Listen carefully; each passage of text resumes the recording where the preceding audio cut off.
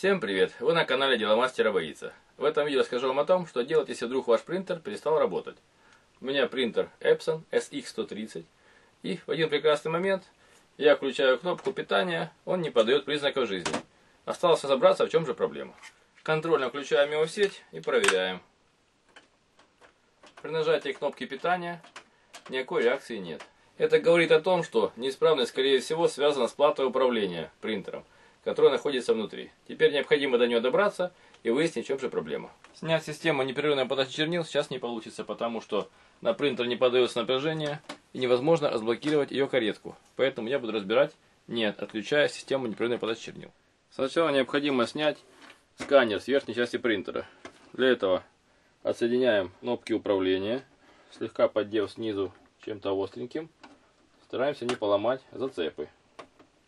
Затем откручиваем 4 болта, которые находятся два сзади, один под кнопками управления и один сбоку со стороны закрытия лотка.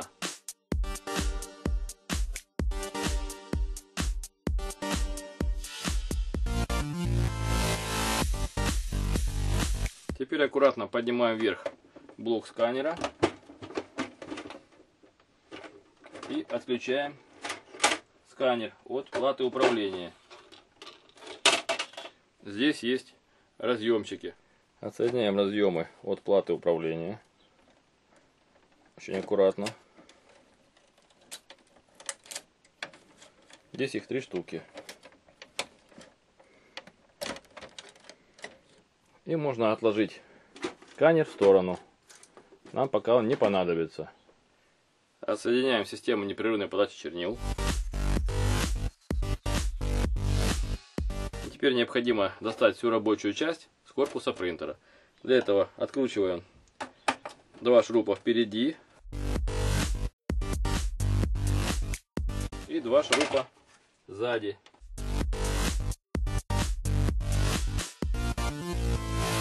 И вынимаем рабочую часть принтера, слегка тянем вверх, плоской отверткой отщелкиваем внизу защелочки для легкости выхода.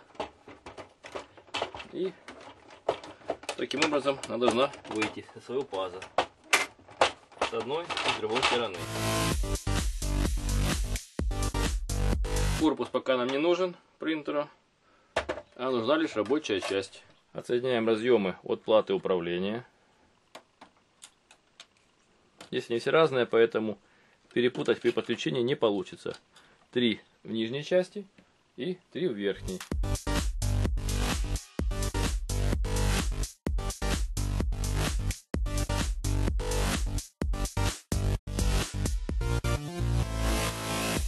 Откручиваем винты крепления платы управления корпусу.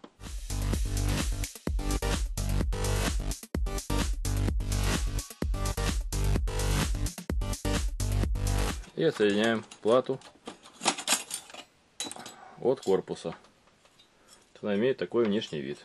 На плате управления есть диод, который обозначен надписью D2. Очень часто он пробивается и срабатывает защита, принтер не работает.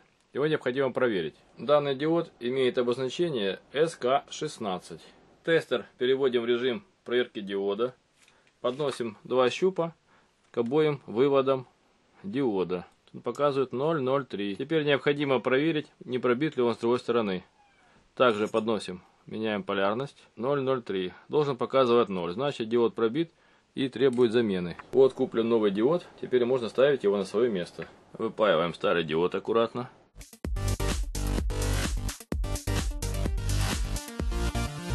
И проверяем новый. Здесь в одну сторону ток не пропускает, в другую пропускает. Значит он исправен. Теперь главное поставить его в правильное направление. И припаиваем. Надпись должна быть от нас.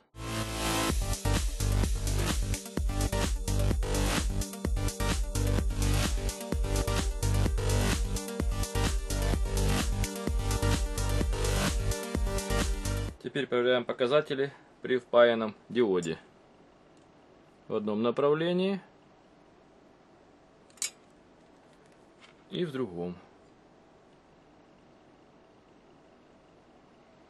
Небольшие показатели есть, но это потому, что он уже впаян в систему. После замены диода Плату можно ставить на свое место и пробовать запускать принтер.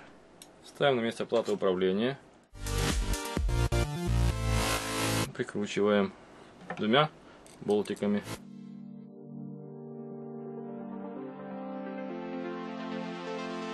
Защелкиваем металлическую часть за корпус и подключаем все разъемы. Начинать нужно от самого дальнего.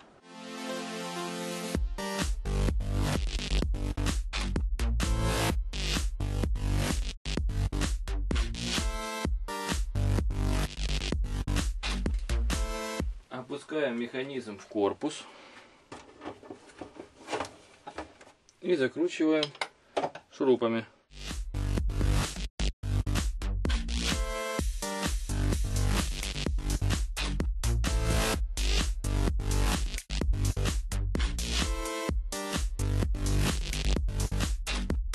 Подключаем сканер плате управления.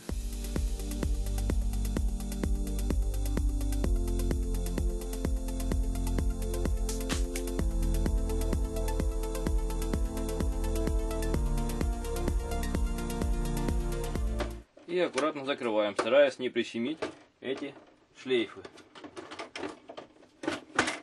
Закручиваем болты крепления сканера к принтеру.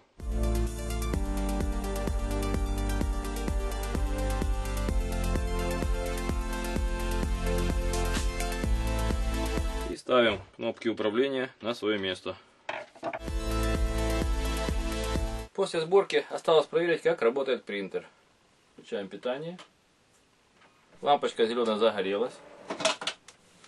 Видно, как каретка ищет картриджи. Теперь можно устанавливать на свое место картриджи или систему непрерывной подачи чернил. Вы были на канале Деломастера Боится. Смотрели видео о том, как своими руками отремонтировать принтер, если он не подает признаков жизни. Пишите свои комментарии, замечания, ставьте лайки, подписывайтесь на наш канал. Будьте с нами. Всем пока.